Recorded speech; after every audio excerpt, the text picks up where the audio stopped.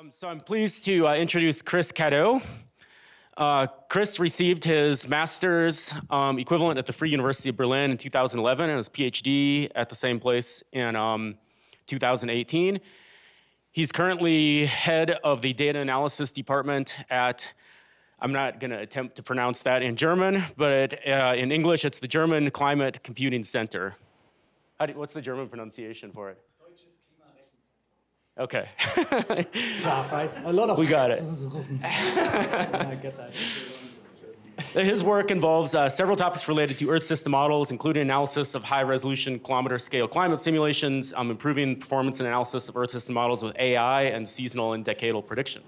So I'll turn it over to you. Thank you. Thanks. Thanks for the for the intro. So what I usually do is right. I bring uh, candy from Germany and I, I, give it around, and it's so cool. Uh, Paul and Rebecca just brought me kind of a kind of a rain gauge here to kind of put the, the sweets in. So that's always the nice thing for the offline people, right? So the online people have to kind of deal with it. So just give it a around, right? So and it has a lot, right? So eat it. Um, um, exactly, Paul has to eat it then, right? So. Uh, Great. So I, I, I, already heard today I won the prize for the most buzzwords in the title. Um, that's probably true, right? We added even now 3D printer, right? So, um, so um, what I what I really want to do uh, today is kind of give you a glimpse. Is that working? Of exactly. So I, I, give you an introduction to the DKRZ. A little bit around my climate research, but not much uh, more the challenges uh, targeted in this talk.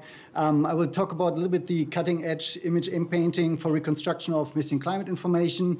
I make a really quick tour through other applications, um, so you will not understand anything if you're not in the field. Um, and then I um, will give some first steps actually towards digital twins of 3D printed weather stations. Um, so who was at this talk like in fall 2022? When I was at M cubed, right? So who was? So not so many. Good, good. So because for you guys, eat candy, right? The first part is the same, right? So um, I hope that's fine. Uh, so just in case you forgot where you are, right? We are right now in Colorado here in Boulder County. I always love to visit. Um, this is Germany. Um, in, within Europe and the northern part, there's Hamburg, the city where the DKRZ is located. Um, I usually bring some nice stuff, kind of inter comparison stuff with me. Also, this first jog I already brought with me last time. So the German ancestry in Colorado is uh, listed the largest, right? So who has German ancestry? Oh, here we go, here we go. Um, it's 20% in Colorado, um, but German spoken is 0.5, right? What happened, right? So I, I what, what, what happened in, right? So that uh, at least Rebecca is here, right? Um, that's good. You keep it up. You're the 0.5 here. That's, that's amazing. So you eat a lot of hamburger, but of course the hamburger was invented in Hamburg, I mean, that's basically what the name says, right? It was fish in first place. We have still these fish buns actually in Hamburg. Um, but finally, the cheeseburger was invented in Colorado, right? It was firstly mentioned in, in Denver, uh, somewhere in the, in the I, I don't remember the, the name, uh, the, the, the, date exactly. So then when I tell the people at home that I go to Boulder, they think about this. Because this is the German word, what we do when we climb, basically, that's Boulder. And they ask me if I'm gonna do Boulder in Boulder, and I say no. That's, that's not my thing, actually. So, um, but then they ask, ah, then you do Mardi Gras, right? Because this week is Mardi Gras. You do it here in Colorado? And I said, no, the Coloradans don't do Mardi Gras, actually, but in Germany it's a big thing, right? So the streets are packed with people. Um, kind of, we make fun about our politicians, right? Um, and you get a lot of candy. I could throw that stuff as well, but I thought I'd give it around, right? Um, and my, my niece and my nephews um, do still real carnival, so Mardi Gras, I don't, we, the grown-ups don't do this just in certain parts in Germany, actually. So um, as you already heard, the, the, German Climate Computing Center is kind of the, the HPC. You see our HPC here for the German community around climate computing. We are still the only HPC center which focuses on climate science um, in the world. Um, and the idea is basically to unlock the potential of the technological progress for climate research our shareholders are the Max Planck Institute for Meteorology, the Climate Service Center in um, Germany, the University of Hamburg, and the Helmholtz Center for Coastal Research. Um, brand new since last year, um, we have a new department. We thought that next to data management, applications, systems, and scientific computing, we maybe need a little bit more focus on the analysis part, and that's why we have a new department which focuses on data mining, handling, scientific software development, and of course, AI and ML. Um, the cool thing is that we have like access to so much data, right? So we have petabytes of data um, lying at the HPC. We have kind of, uh, I think, nearly 200 petabytes pure storage and kind of even even more on tape. Um, that makes kind of a lot of fun if you want to do machine learning because you can train your models on, on really cool stuff. Um, and I just brought my other side of that department with me, the Freva part, analysis platform. Uh, I gave a couple years back actually a talk here at NCAR as well. Um, Yes, so let's jump into the topic of machine learning. So um, there's a certain word for when you kind of reconstruct an image that's called image inpainting. It's basically re restoration, right? So everybody knows that. So we have paintings or photographs, and over time, you kind of these things get broken. On the left side, you see kind of uh, um, uh, a painting of the Sanctuary uh, Mercy Church in Borja, Spain. And this is, of course, not the ground truth because the ground truth is even older, right? It's a photograph of something, and then over time it get broken. And there was the restorator who said, like, yeah, I can restore that, no problem. The human being started on it, and this was what was coming out. That was a huge success for this for the church because uh, everybody wanted to see that. Everybody went to Borja, Spain. They got so rich by it. Um, that was a total, total success in terms of restoration. And on the right side, you have a photograph um, with the ground truth in the broken picture which is also a lie, right? I mean, we don't have a digital picture and then we have a real picture and we wait for 100 years so we can restore it. That doesn't make sense. Actually, this is already a restoration with the deep learning algorithm. Um, it's, it's actually pretty, pretty good. I even would say it's better than the original one, um, but we have, don't have a ground truth to compare with. Um, I usually bring this stuff with me just in case people want to talk with me about how intelligent is AI, um, and then we can compare this to human intelligence. Um, so yeah, can do that later. Um, in 2018, I, I, I, got, I, saw this video online, right? We watched it together. It's a video from uh, NVIDIA. They're doing image inpainting for irregular holes using partial convolutions. And basically, the application is pretty simple. You upload a photograph on the left side, and then you get this little rubber, like in Microsoft Paint or something like that. And you can delete things from that photograph on the left side, like that stone, um, and on the right side, the AI uh, tries to make the photo as realistic as possible again. And it's pretty live, right? So this bridge doesn't belong into nature, right? We kind of delete it, um, and then it's gone. That was really hot stuff in 2018, right? Everybody has it on their phone right now, right? So this object remover kind of, this is, this is everywhere. Um, but this technique has a little bit more to that. So three things are very, very cool. So we have first, basically a really good color-spaced linear interpolation. So it kind of checks where in the room is it. Then you can delete things um, like, like, like everywhere, right? This was unique. You usually had a big blob in the middle, and then you kind of try to infill that blob in the middle. But here you can just do whatever you want. And then now this thing kind of got me really because you can delete things from that image, and if it was trained with something um, with a lot of faces in that case, and you take away an eye, the AI knows, oh, there should be an eye, and I can put back an eye. That's different than the stuff on your phone, right? So it kind of recognizes stuff and then puts something in. And then, of course, you can do fun stuff like getting a new haircut and just let the AI decide how it should look like. Um, um, or you can use that technology to basically do Photoshop and make these people a little bit younger, right? So getting all the problem areas in the in, in the face, that old man, and definitely gets yeah. This neck area is really bad. Now it looks better. So and you, you see what happens now when we take away the eye again, right? And then you directly know how this thing was trained.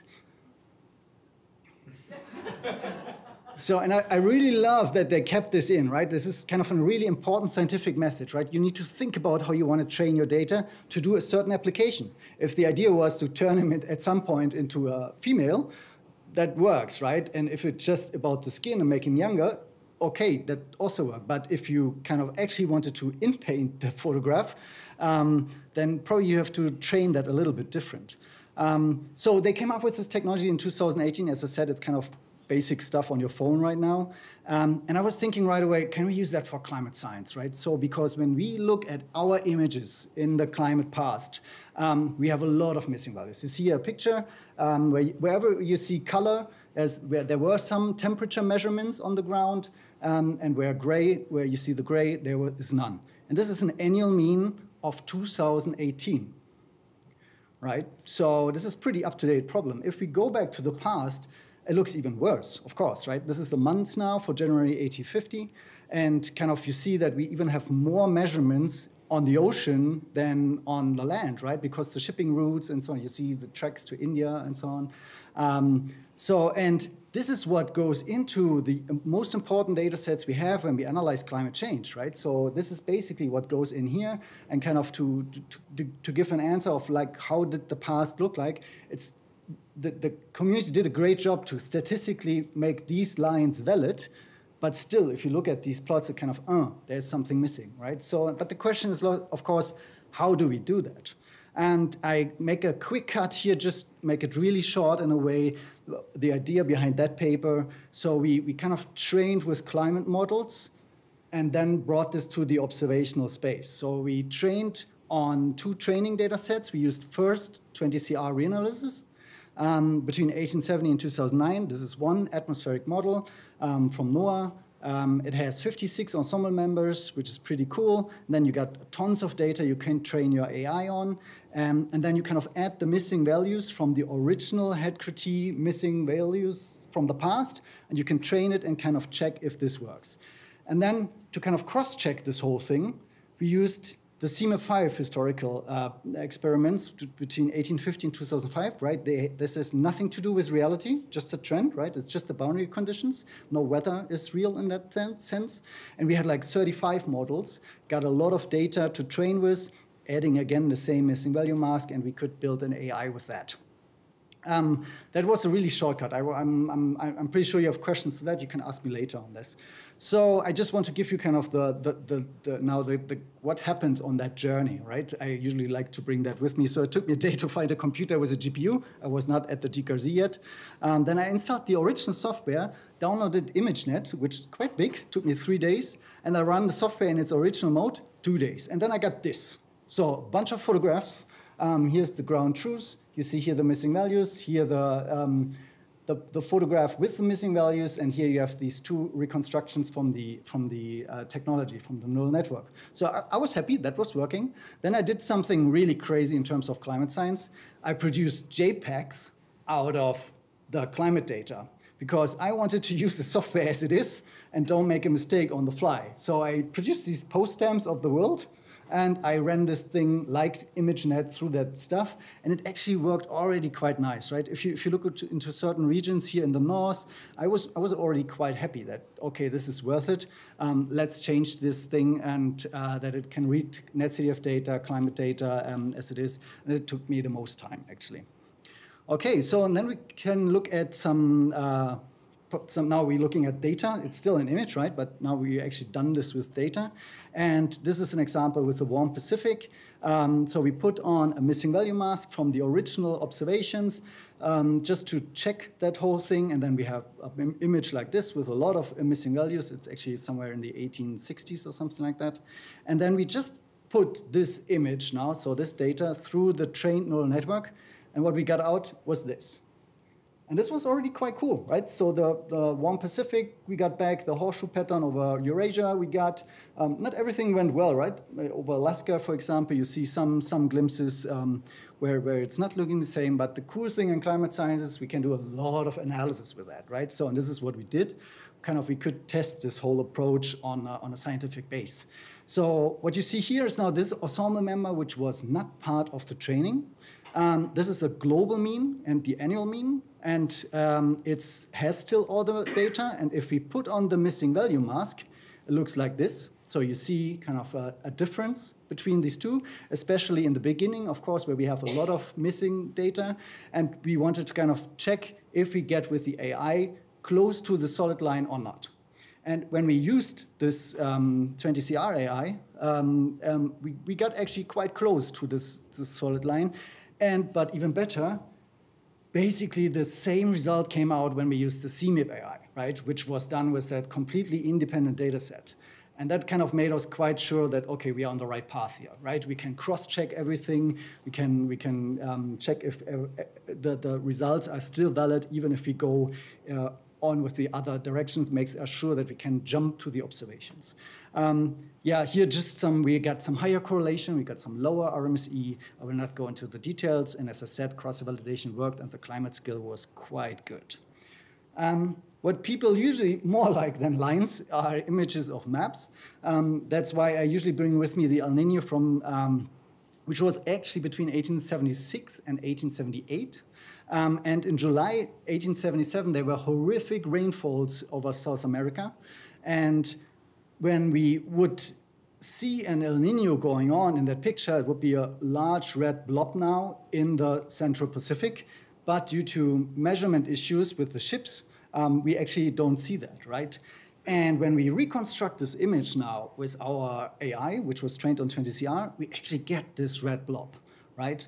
The good thing is you can prove me wrong because the ground truth you see basically above, right? So we get, that's, that's what I usually say, we get eye.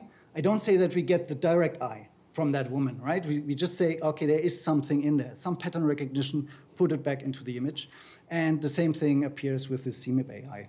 Um, what was, just to give you a glimpse of the statistical analysis the community did before, this is what, what was the picture look, look like before with kriging.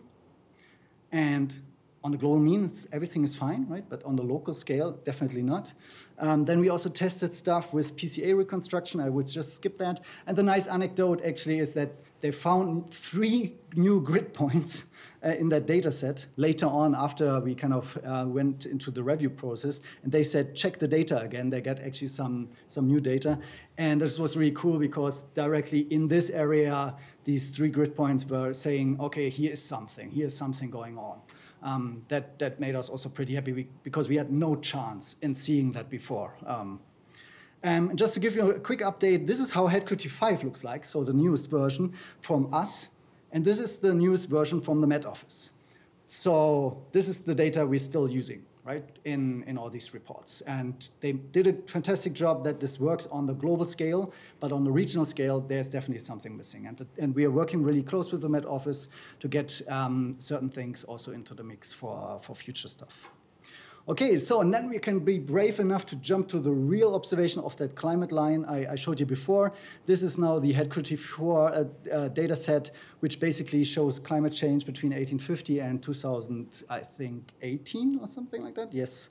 And if we do now the reconstruction with our AI, we got um, uh, pretty much the same picture, but slight differences. And when we do now the same thing with CMIP AI, good again it's quite similar, actually. Results are quite, quite, quite, the same. And now we can do actually some climate science with that. Um, and we see a gl cooler global mean temperature in the first part, which basically means we have an underestimation of the global mean temperature trend. So basically, that means like if we are more correct, then climate change is even worse, right? That's basically would be the interpretation. Um, so, and then we already had some studies going on in uh, which said like the mid part um, of HadCRUT is actually not so good and it's way too warm. And we, we, we can definitely um, kind of support the, these other studies with that. And then there was a big discussion if the, in the late phase of, of the last um, 15 years, there was this so-called hiatus phase, and there was a big discussion if climate change stopped. Um, and we could show also that kind of certain regions were, miss, um, were missing, so especially the polar regions. Um, there were already studies saying, oh, you, we miss out this information of that warming there. Um, and also the warmest year on record until that, right, was 2016. We just we just got rid of it, right? So 2023 was uh, the new record, um, but we got even a warmer record um, with with this uh, AI stuff. Um, yeah, so it started in 2018. In 2020, we published this together with NVIDIA, and I was still at the Free University jumping to DKRZ. Um, we finished this back then. We published the code open source. The data is available. Um, and we were pretty proud that our technology, not just our technology, but also the data set itself in the end was analyzed in several chapters in the IPCC report. Um, that, was, that was actually pretty cool. And this is basically give you kind of a glimpse of what, what, where, where it's coming from. And now I jump through some other applications we done with this technology. And this will be tough because I cannot go into the details. But if you have questions later, just let me know, right? So to, to start with, we check repair radars. So everybody said, like, can you do precipitation? Said, ah, okay, let's, let's try. So we're in the atmosphere, and you're looking at, a, at Germany, and this is our radar network you see above. And you, we, we have uh, a lot of rain, especially in Hamburg. And um, so sometimes these radars actually fail. So, and then this would be a case where three radars failed, and we tested if a radar, radar fails um, during times when we have like horrific rainfalls. Um, um, like, like here in this case, the ground truth in the middle, can we reconstruct that with our technology? And this worked. Um, then we said, okay, let's bring this to the maximum, right? How about we using just 72 weather stations, um, training with that radar data set, and see if we can bring a million grid points back. And of course, right, it gets, it gets harder and harder, but I'm, I'm quite convinced that we are on a path here to get uh, a picture which is quite valid. And just think of the application, right? It's of course not about now or the future, but if we could go into the past with this, we have a lot of weather stations in the past, but we don't have radars. If we could jump back to the beginning of the 20th century, we could make even a climate data set out of this, right? And we are here on the hourly scale. Um, then we jumped into data assimilation. Now we're in the ocean. Uh, we check the heat content. We are on a monthly scale. In the 2000s, we have like a lot of observations, Argo floats flowing around and so on. And when we do data assimilation with uh, Earth system model, so a coupled uh, atmosphere-ocean model, um, we, we, we, get this picture and we are um, getting the same picture if we train with a neural network, which is actually was not the idea of that paper. We have a certain phenomena called the northwest corner, um, we have that in here, and we, we basically trained the neural network on the Earth system model. Um, and, and when you go back to the 1950s and you see we have a lot of missing values, the Earth system model fails of recreating that northwest corner.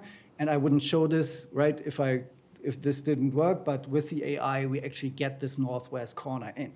So it's definitely an application also for data assimilation. Um, then we are looking into extremes and uncertainties. So we are trying to build right now a new HadEX data set. So all the extreme indices going into the past. I will not go into the detail here. The nice thing about this application is also we see that we need some uncertainty information. And what we can do now, here you see that on the, on the right side, um, we actually can do give different answers to the same problem. And therefore, we can give some uncertainty with it. Um, then people always ask, can you do downscaling? Um, it's like, yeah, okay, let's try. Um, so we took uh, all the um, HighResMIP runs from CMIP, um, got this to 0.5 degree, um, and tested if we could go to the 5 degree, which is kind of the observation grid we just saw in the other part of the talk, and check if we are able to get that back. And this works actually quite good. So this worked so good that this actually was quite boring. So we thought, okay, let's bring this to 10 degree, let's bring it to 15 degree, let's bring it to 20 degree, 25 degree, 30 degree. And we see, we see of course, some decrease in skill, um, but, but I'm still impressed, right? So if you have this kind of information, and you still get these patterns, these dipole patterns and so on into the mix, um, even with the 30 degree information, uh, that's quite cool. Just to give you a glimpse of what you could do with it, we could do data compression with it. Just think of we could throw away information and just get it back with the AI if we need it, right? I'm working at the HPC center with a lot of storage problems. Um, that could be something in the future. Um, then we're also doing downscaling in the ocean. Um, here you see um, something on temperature and motion. We want to go to um, ocean model with 600 meters, so getting really these small scale algae. Um, and instead, we want to run a 10 kilometer version and get the 600 meters with the neural network, and even that um, worked quite nicely. And the, just to, to, to, just to be using a lot of other techniques for other stuff. This was all the same technique, right? This is the software I showed you, which is on GitHub. It's all the same. Um, and then, now we're coming to the main part, right? So I, I give this talk actually like uh, in, in fall 2022 and like got a lot of great questions from M Cubed, right? So this was a, a, really lovely evening actually with a lot of questions. And one question was like, okay, we have actually these 3D printed um, weather station and we have missing gaps. Can we do something with it, right? Um, and before we jump into the topic, I just want to quickly introduce the 3D printed automated weather stations, so-called 3D PAWS. They started in 2014 with that initiative. Paul is sitting here uh, with me, so he's, he's leading that, that initiative.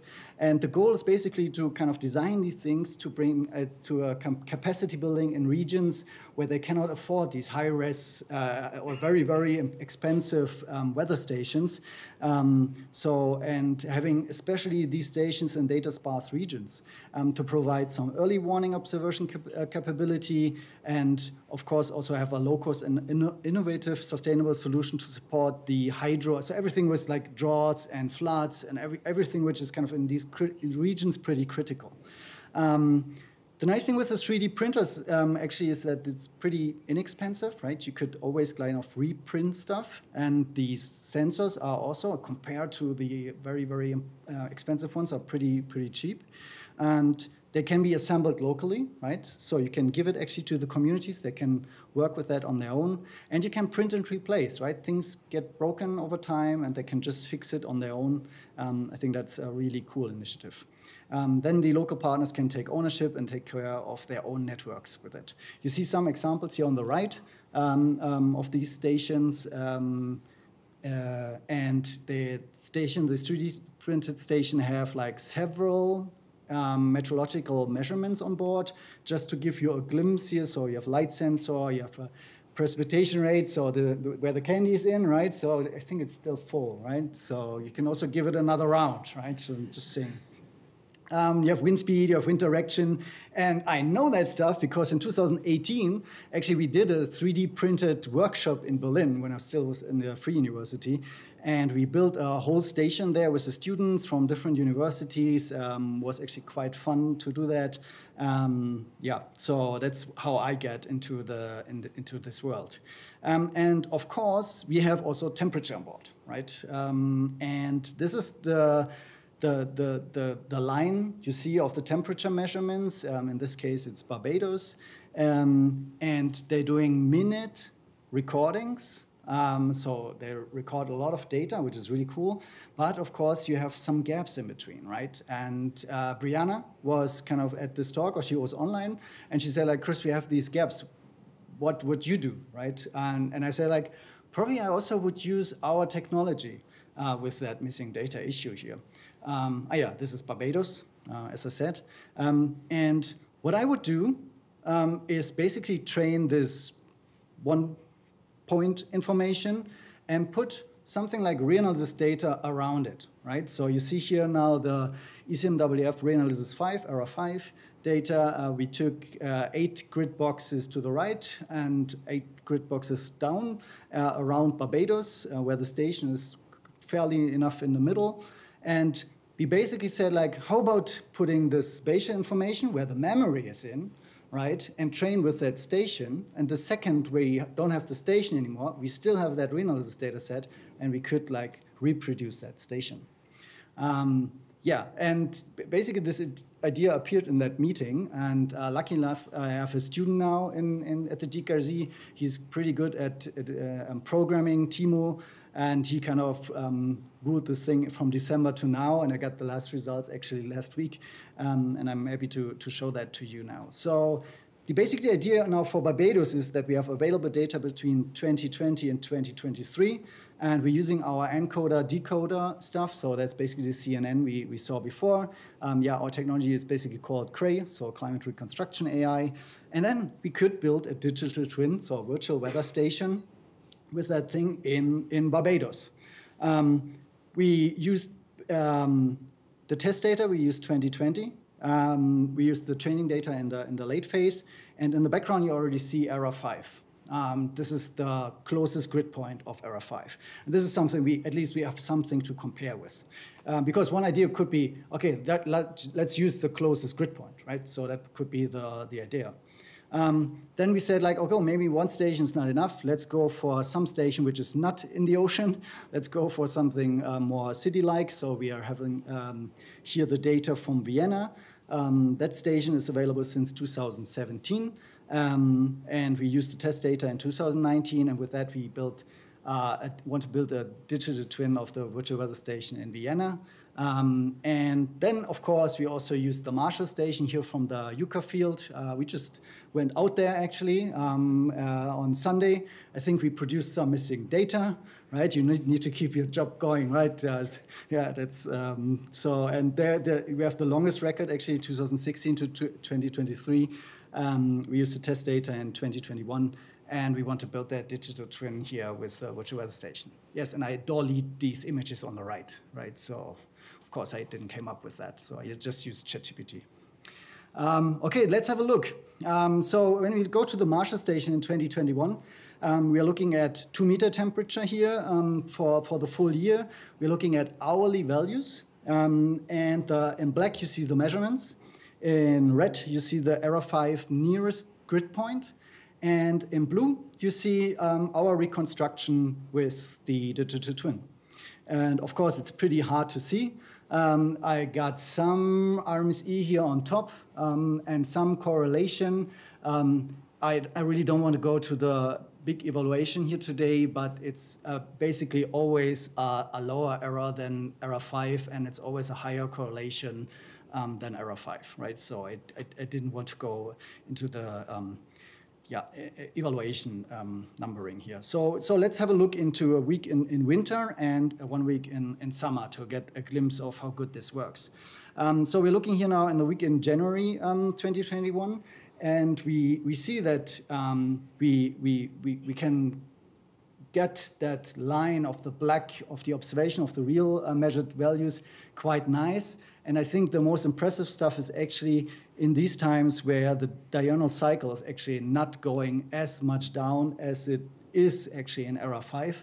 And just keep in mind, right, this is basically also our input data, right? So, um, so the AI kind of stays on that thingy, so it gets the bias correct and kind of keeps that quite nice, um, but also not always gets to the to the um, maximum values. Actually, we see that um, quite often. Um, in, a, in, the, in the week in summer, um, we, we see that uh, the same thing appears that we follow this line actually quite nicely, um, um, especially compared to this grid point of ERA 5. And again, we see these glimpses where the, the diurnal cycle goes pretty low um, and the station doesn't. And the, the, the, at least the, the, the, AI is able, the digital twin is able to keep that in the right amount of um, distance to the original station um, in summer. So we did a lot of weeks. Actually, we looked at a lot of data. But if you want to go, for example, into the daily means here, so the difference to the measurements on the daily mean scale, um, yeah, we got an, um, an error from less than 0.5 degrees Celsius, which is actually quite nice. The correlation is already pretty, pretty high with the daily means. Um, and we are, of course, much closer than the ERA 5 grid point. Um, you could always argue, okay, maybe you just use another different station or something like this, but, but it, the, the idea was always to keep this whole procedure as flexible as possible. Um, and this is, I think, something which maybe um, Paul's group can help to kind of put this more into perspective. How good is it in the end, in, in reality, right? Um, if we look into the monthly means, um, so, so the picture gets better and better now, right? So it's, it's, it's pretty close. We are having a much better um, seasonal cycle than this ERA 5 grid point, which potentially goes already into the mountains, right, with 31 kilometer um, distance. Um, so this, this works quite nice. And if we're looking at the daily cycle itself, so here from um, midnight to midnight, um, we actually see the, the issue with ERA 5, and we see that we, with a digital twin here in, in the Marshall station, we stay quite close to, to the measured data. Um, if we go back to the hourly values and just check Vienna real quick, um, that is a random week now again. Um, we see uh, an interesting like a lag shift. So you see that here a little bit. So the ERA 5 grid point is always kind of lagging behind. And we are able to correct that as well, which is quite cool. Um, the daily cycle works also quite nice. Just ignore the green line uh, in that case. We tested some stuff, it didn't work out. Um, that that is, was also quite good. And even more crazy, of course, is now Barbados, right? Because you have the ocean. It's basically everywhere is ocean, so you don't have really a daily cycle. However, the station has like a strong daily cycle because it's on land, right? That's why you see this huge difference here between the red line and the blue line. Um, I think we, we get the black line actually quite quite nice. Um, same goes for the um, so the daily cycle. As I said, we have always a little low bias here. Uh, that's definitely something we should work on. Um, yeah, and this is basically what I brought with me. So um, we have now this digital twin technology where you can basically say the network, here's the station, here's the data, um, download ERA 5 in a certain region around that station, kind of train this whole thing, and then please fill up the whole stuff, right? And this is what we did. We have now an infilled version of the Marshall station, we have an infilled version of Vienna, and we have an infilled version of Barbados, which failed miserably, right? If you see that. Um, and we're like, oh, yeah, okay. So, because I, I, didn't show that before, but that thingy here in the end, uh, in the data, messed up this whole stuff, right? So we need to have quality control data. This is what I said in the beginning, right? Think about the data. You, you need to make sure this works, um, that you don't fall into the trap. So the AI overinterpreted this grid point then many times in the timeline. So I'm, I'm saying we're not done right? So um, I, I, always laughed, and things also always just work with everything, right? So um, that made me happy. So what, what what's missing? Um, I think the full evaluation, where I think uh, Yuka um, and Paul's group can help a lot. Um, the minute data, right? So temperature, it's pretty boring, right? I guess between two hours, it's pretty linear. But the moment we step into precip or wind, could get actually quite interesting with the minute data. Uh, other instruments, other sensors, right? Paul already said like precip would be nice to test next. Um, I also think like if maybe the temperature sensor fails on, on one instrument and you have it still running on the other, you could definitely connect that.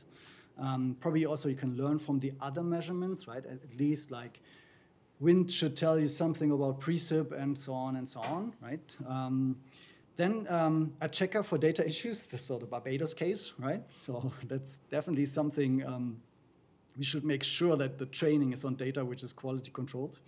Um, and a checker for minimum observations. So that was the first thing actually Andreas asked me today, uh, like, how do you know how much data you need to train this thing? And I said, I don't know, right? So actually we have to work on this to find out how much data we need. Is a year enough or not? Can we maybe write something that we give an uncertainty with it and the longer the time series of the data gets, and we have data to train on, maybe the uncertainties get decreased, right? Something like this, uh, I think uh, would be nice. How to make it operational, right? That's definitely a, a question we, we should ask at, at that moment when you really want to get it into, into the mix. Um, what could we do with it? Of course, we could infill missing observations, right? That was the, the first questions asked. We could do that now. We don't use any recurrent network to do some time series predictions or something. We again using the space, saying, ah, we're using the space around the station because there's the memory. Um, that, that worked quite nice. We could do this now.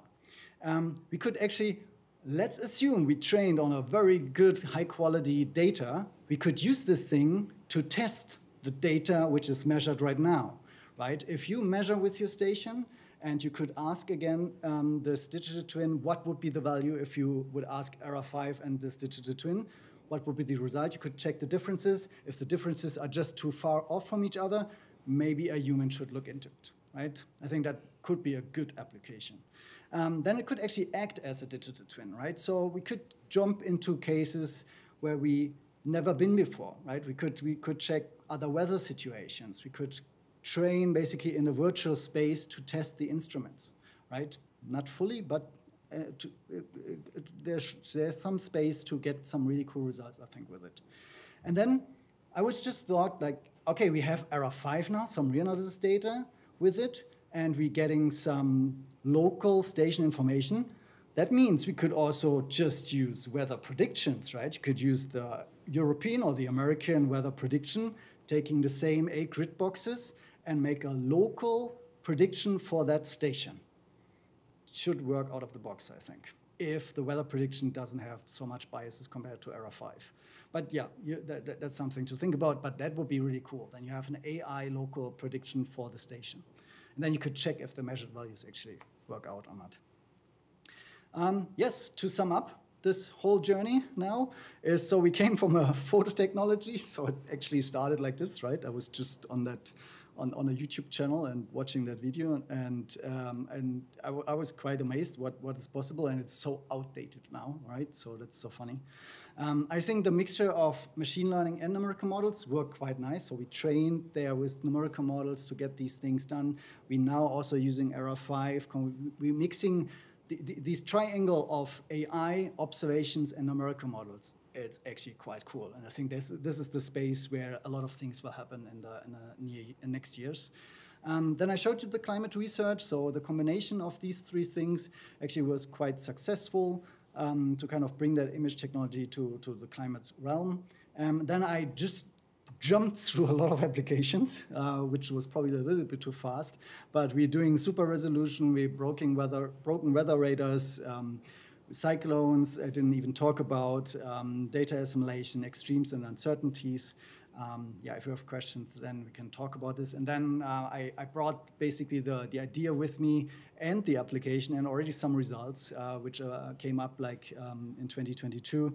And uh, we kind of mixed this now up to a new um, technology, which are three digital twins for the stations for temperature three stations in Barbados, in Vienna, and uh, here in Colorado.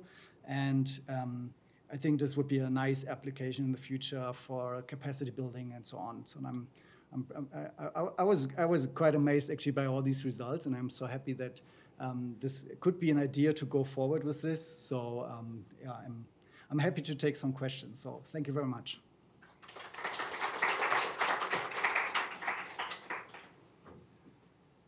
All right, thank you. Some questions?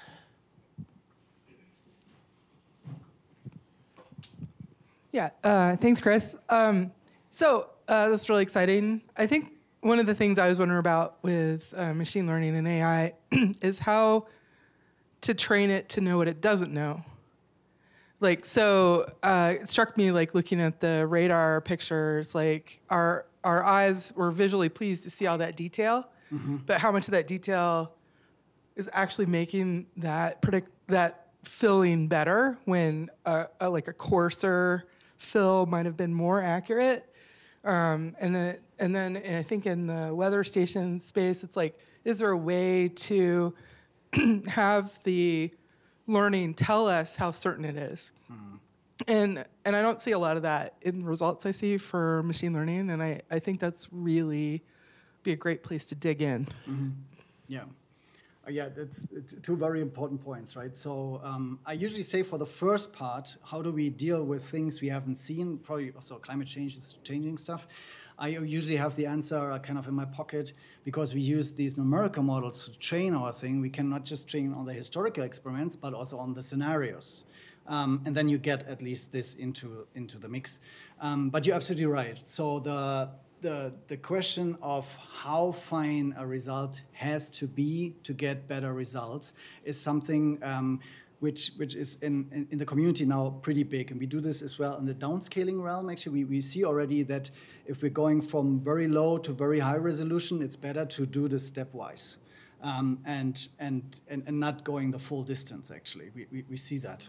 Um, and GraphCast, Google, um, just kind of made that tweak into their model that they go through the scales.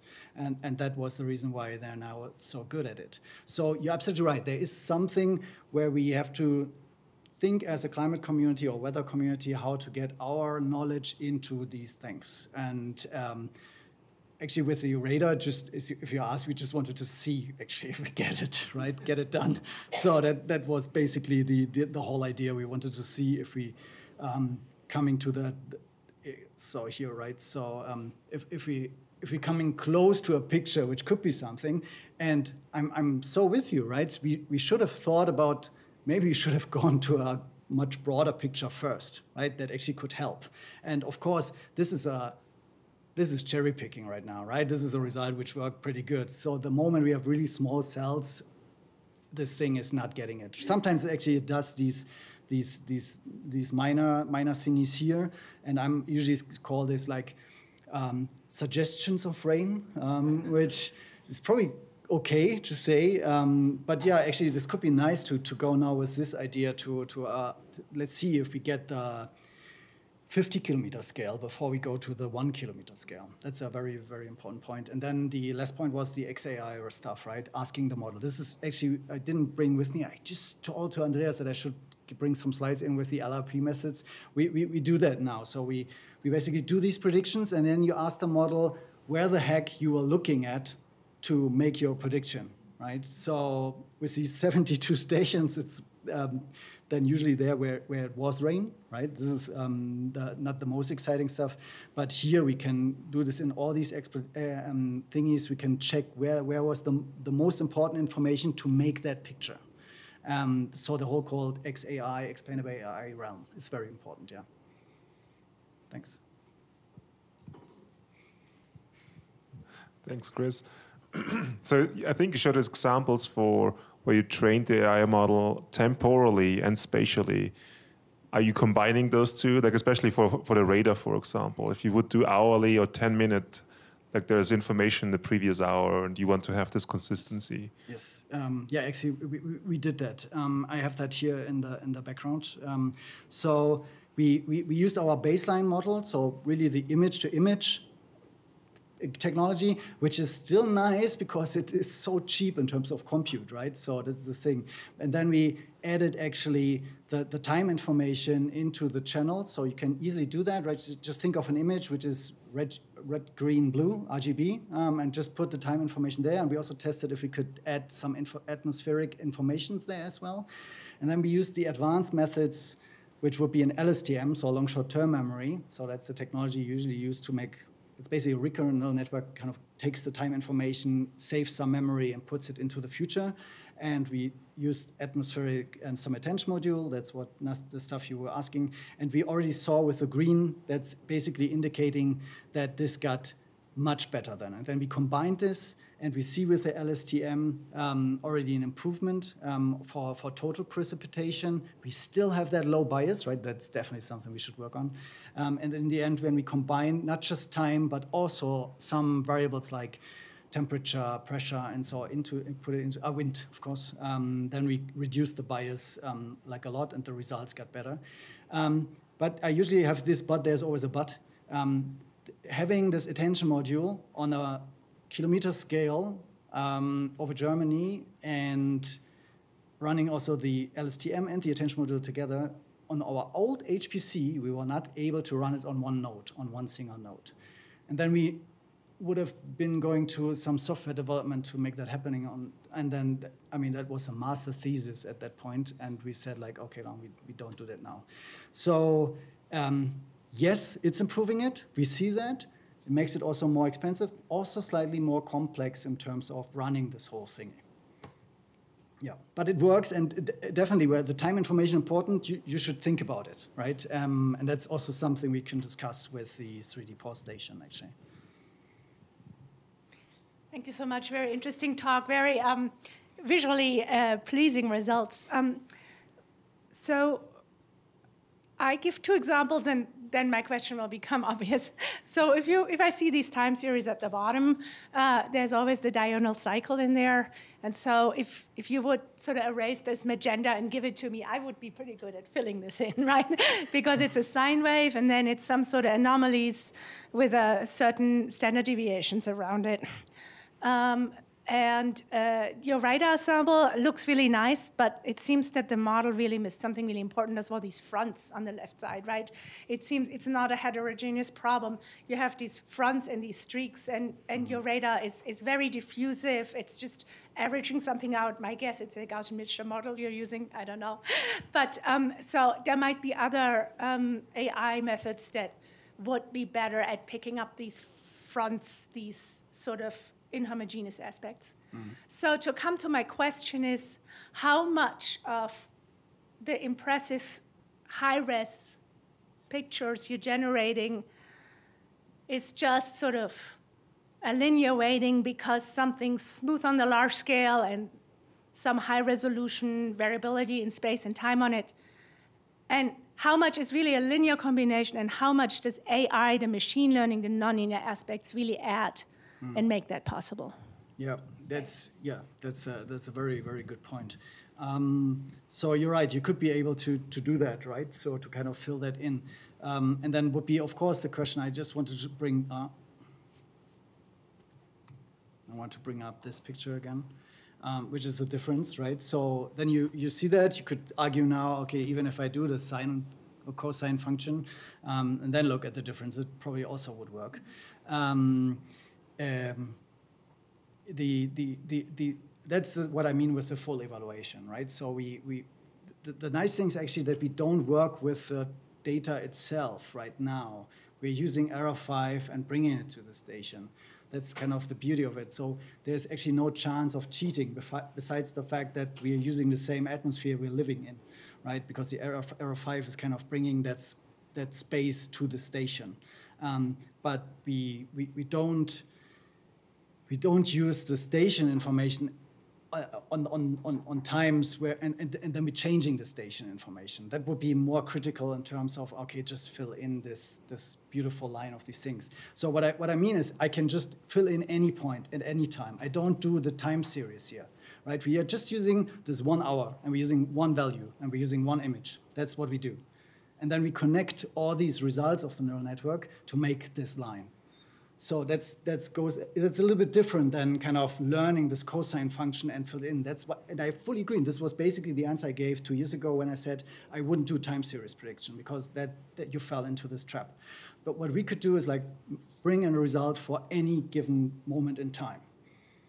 That's, that, that's the one thing. And the, the other thing, what would be the, the advantage of bringing these uh, high-res information of the, of the precip, right, for example, like, like these things, right? Um, and the question is like, it's definitely more than statistics. We tested it against other statistical methods, so kriging, for example, and we, we bring in, let's say, this eye, right, this pattern recognition. We, we are able to get things into the mix which are, which were, you, you don't see it in the picture, and the AI says there is a phenomena, we should bring it up. Um, but I don't say that this always works and we see issues. And probably this, what Gretchen said, like would be a great thing actually to maybe should do the infilling, and we should also maybe do even doing this thing here, um, maybe on different scales. And it could be actually that if you if you have certain uh, networks for certain situations, you could even get the small scale thingies right because probably most of the time the non-values in precip are kind of are a mess, right? And that's uh, you could argue that's maybe not so important, at least to get the rain, but maybe we need a convective neural network, maybe you need a large scale neural network, and so on. Um, that's how I would tackle that. Um, and we see that we definitely, we always test this against other statistical methods um, to bring this into the mix. Um, I think I have something here with me where, yes, here, for example. This is, um, the, the, the, this is the, the our version is basically on the top right. On the left side, you see the ground truth of the radars, and you see the issues, right? But if you compare that to ERA 5, you see in the middle left, and the downscaled version, are having a numerical model now on top, so this is Cosmo now, having a downscaled reanalysis, you see that on the top uh, middle right, and even on a two kilometer scale on the bottom left, you see that result here. Um, this is really cost extensive, right? If you do that, that's really expensive. And I love numerics, right? I love the numerical models, don't get me wrong, but this to produce that, that takes ages and it needs this whole chain coming from some large scale reanalysis, going to a medium reanalysis, going to a local scale reanalysis, like here, REA2, and to compare basically the top, the bottom left here to the bot, uh, top right um, in comparison to the ground truth, I, I would say we are not so bad actually having just these stations, you see that's again, right? So the stations we used. So I think we bring something new to the table, right? So even if, okay, numerical modeling is probably better, right? But um, it's also really expensive. And, and sometimes you need answers fast. And I think we are quite good in getting certain things. Um, uh, yeah, you see here, actually, I, I, I, go now to the to this thing. You see that these um, indicators of rain, this is what I, what I meant before. You see these actually quite nice here. Um, I know this was maybe not a satisfying answer, but a long answer. And uh, yeah, thank you for the question. Let's do one more question.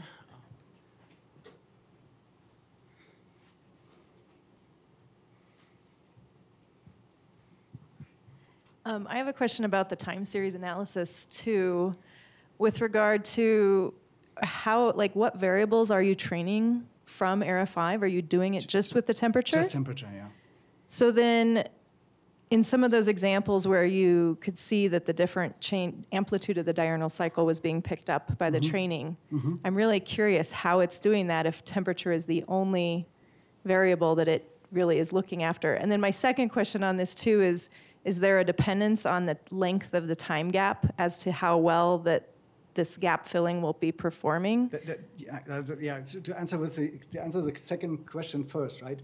Um, that's maybe that was wasn't so clear, but we actually doing this infilling for each time. We can do it randomly, actually, and we just put together the time series. So we have no information of. So this week was reconstructed like hour per hour, and then we just put it together and we get a result of that one hour, you get a result of another hour, and then we do this. There's no time connection between these dots. The time connection comes through the fact that ERA 5 has the time in, in reality correct. Um, yes, that, that's the, I mean, that, that's, that's pretty mind blowing, right? So I, I agree. And the, the, that, the, these cases where it doesn't fall down or don't fall to the trap, but on other cases it actually goes down, right? Like here in this case. Um, that basically means, probably that means we had enough data to learn the local effects of that. Um, and probably we get even better if we add other variables here, right? So I usually like to start easy, right? And if it's already so, so good, because then it's much easier to, to do certain things.